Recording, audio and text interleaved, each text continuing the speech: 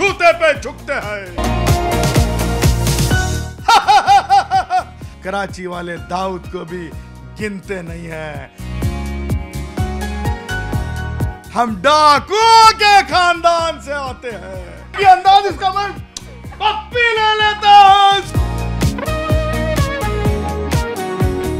नमस्कार आप सभी का स्वागत है और इस समय हमारे साथ मौजूद हैं बिग बॉस सीज़न 18 के सबसे चर्चित कंटेस्टेंट गुरु रत्न जी। बहुत बहुत स्वागत है आपका। आ, सबसे पहले ये बताइए कि आ, आपने एंट्री करते ही धमाका किया है। लोग बहुत पसंद कर रहे हैं। इवन सलमान खान भी बहुत ज़्यादा आपको पसंद कर रहे हैं। सबसे पहले आपने खुद को देखा।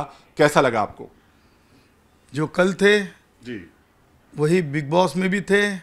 आज भी वही है और कल भी वही रहेंगे हम। हम अपने आप को बदलना नहीं चाहते। और सलमान ने रियलिटी देखा। और हम कलाकारों की बड़ी इज़्ज़त करते हैं। और हम कलाकार, कला की दुनिया से यही बार बार कहते हैं, परेशानियों में हम जैसे भाइयों को याद करो, क्योंकि हम सच्चे दिल के और सिंपल सिंपल होते हैं। कभी भी कलाकारों ने एक बात ध्यान में रखना चाहिए। कि गुनेगारी जगत से उन्होंने अपना जो क्या कहते हैं डिस्टेंस रखना चाहिए। ये मानने वालों में से है। कला तो शाहरुख की भी अच्छी है, कला तो सलमान की भी अच्छी है, गोविंदा की भी अच्छी है और कंगना जी की भी लाजवाब है। हम ये समझते हैं कि कला जगत की एक मर्यादा हो, जो मर्यादा लोगों के दिल में, लोगों का माइंड ब्लोइंग पसंद करने के लिए हो। कला की कला की जगत पर गुनेगारी जगत का राज न हो। फिर वो दाऊद हो या कोई हो या कोई हो लेकिन कला पर सिर्फ़ कलाकारों का राज हो यही हम डंके की चोट पे बोलते हैं। जी सबसे पहले हमारा सवाल ये रहेगा सर कि आ, बाहर मतलब किन कानूनी कार्रवाई करने के लिए बाहर आए हैं? क्या वजह थी? आपको पहले से पता था कि ये सब चीज़ें इस डेट पर ये तारीख पड़ने वाली है? या आपको नहीं पता था अचानक से ये तारीख पड़ी है? प्रभु श्री रामचंद्र को मानने वाले महाबली हनुमान जी को मानने वाला यह देश है। और यहाँ का हर आदमी, डॉक्टर बाबा साहब अंबेडकर का लिखा संविधान बहुत पुरजोर तरीके से मानता है। तो कोर्ट का फिल्मी भाषा में बोलना, चलो बुलाया आया है, कोर्ट ने बुलाया है। और जब कोर्ट ने बुलाया ही था तो बड़े अच्छे हैं कलर्स वाले। उन्होंने भी समझ लिया कि कानून के हाथ बड़े लंबे होते हैं। तो उन्होंने कह दिया, उनको जैसे ही समझ में आया कि माननीय उच्च न्यायालय में मुख्य न्यायमूर्ति जी के जो बेंच है, फुल बेंच, वहाँ पर हमें अपनी दलीलें देनी थी।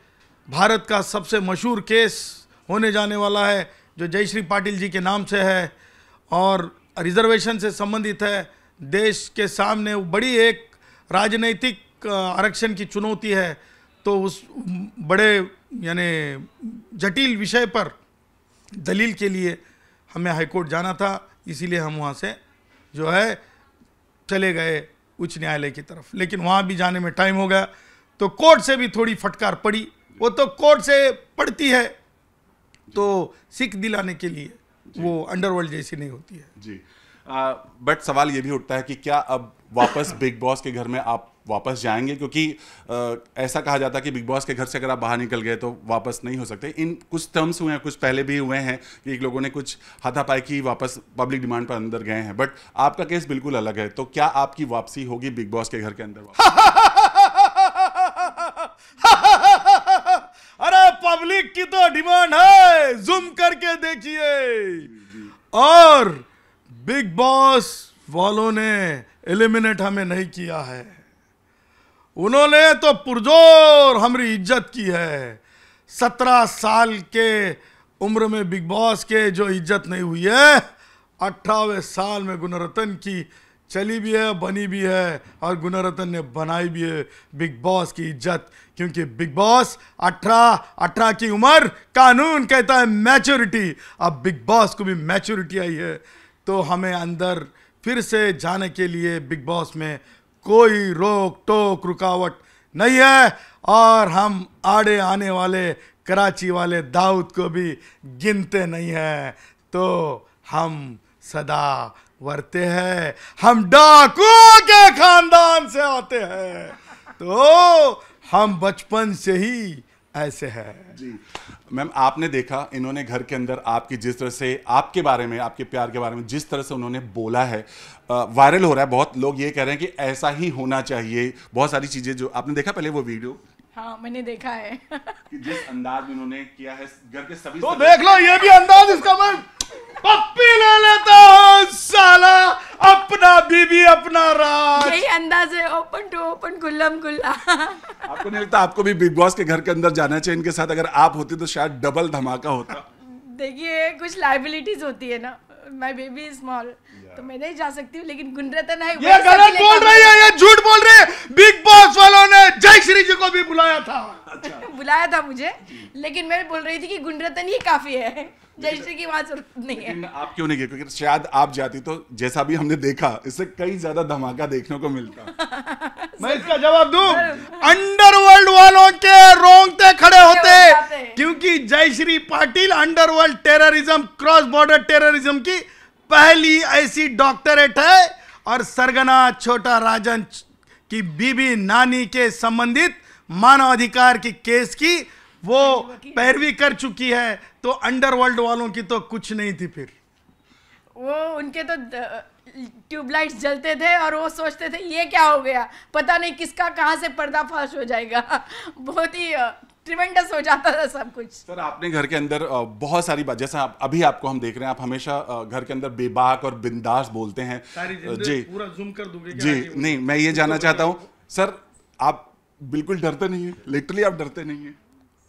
डर के आगे जीत होती है ऐसी हमारी बिटिया जो भारत की जैन मेरी जैन बिटिया का नाम जो बाल शौर्य पुरस्कार है जो बच्चों के जो बच्चों में सबसे सर्वंकश ऊँचा पुरस्कार होता है उसकी वो विजेता रही है तो वो कहती है कि डर के आगे जीत होती है। और हम तो डाकुओं के ख़ानदान से है हमें डर नहीं लगता लोग हमें डरते हैं और अंडरवर्ल्ड वाले हमारे एक जूते के ऊपर झुकते हैं अंडरवर्ल्ड वाले जूते पे झुकते हैं। एक चीज़ चाहेंगे शिल्पा जी के बारे में क्या कहना है हमेशा आपने उनको प्रेज किया है यू you नो know, जब भी आप उनसे बात करते हैं बहुत इज़्ज़त के साथ आपने बात किया है। और शिल्पा का जो गेम आपको लगता है कैसा लग रहा है घर के अंदर? देखिए वो हमारी बड़ी बहन है हमारी यानी हम हम हर कलाकार की इज़्ज़त करते हैं। She is my sister likely my sister but sister रिश्ता होने से वो बिग बॉस जीतना हरना इतना आसान नहीं है। हम ये समझते हैं कि वहाँ पर जो है सत्रह वन टू थ्री फोर और सत्रह को खतरा गुणरतन का है। देखो इसी की यही खूबी है। ज़रूरत भी सत्रह को खतरा गुणरतन का है। विवियन हमेशा बोलते आ रहे हैं कि वो कलर्स का बेटा है और जिस तरह से वो दिखाए जा रहे हैं घर के अंदर टॉप टू में भी, भी उनको बता दिया गया है। आपको नहीं लगता कि ये और कंटेस्टेंट के लिए जायज़ नहीं है? मैं किसी के ऊपर टिप्पणी इसलिए नहीं करना चाहता हूँ बेटे छोटे होने से यह पब्लिक है सब जानती है। हम कला दुनिया में पहली बार गए हैं फिर भी पब्लिक ने चाहत दी है। इस वजह से मैं ये ये इतना ही जानता हूँ कि सत्रह खिलाड़ी एक सरीके है और पब्लिक का गुणरतन है। एक रतन एक लाख गुणरतन। सो so, फाइनली आपको घर के अंदर कौन लगता है लंबी रेस का घोड़ा है? आपके अलावा। हम अपने आप को बड़ा नहीं कहते लेकिन जनता ने हमें चुना है और बिग बॉस ने एलिमिनेट नहीं किया है। तो सत्रह के सत्रह तुम उसमें के जो है ना कलाकार है उबले चने फ्यूचर हीरो और जनता का नायक हीरो हम है। गुण रतन एक आखिरी सवाल मेरे जहन में इसलिए आया क्योंकि आपने अभी अंडा और सबकी बात की। आप इतने बड़े बड़े केस लड़ने वाले जब घर में छोटे छोटे बातों पर आलू पर लड़ाई होती है तो आप उस वहाँ कैसा फील कर रहे थे कि ये क्या हो रहा है? देखिए छोटी छोटी बातों पे हम ज़्यादा ध्यान नहीं देते। जनता के दि, दिमाग दिल दिमाग की सोचते हैं और उन्हें जो चाहिए वो हम देते हैं क्योंकि हम जनता के हैं जनता हमारी है ये हमारा रिश्ता है।